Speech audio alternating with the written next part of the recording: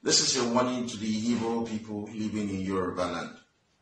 We're giving you a 48 hour ultimatum from today, Friday, 23rd of October 2020, until Sunday, 25th of October 2020, to leave Yoruba land.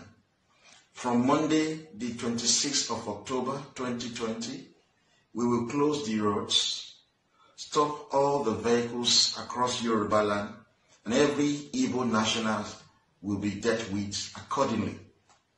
What happened at Ore in Ondo State in August 1967 are just highlights of what we're going to do from Monday, 26 October 2020.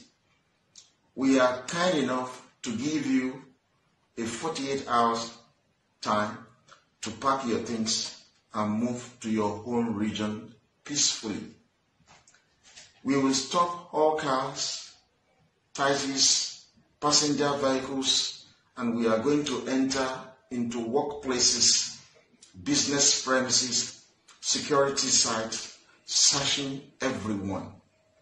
Any evil who is found will be dealt with mercilessly.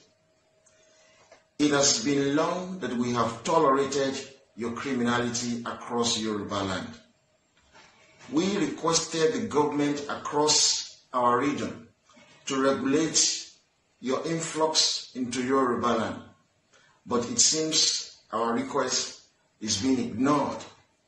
Now, we will deal with it in our own way. So please be warned and do as we have requested and save yourself and your family. Do not say we did not warn you. We're asking you to pack your things and go back to Igbo land. We don't want any Igbo national anymore in Yoruba land. We're tired of you. Enough is enough. You have now been warned.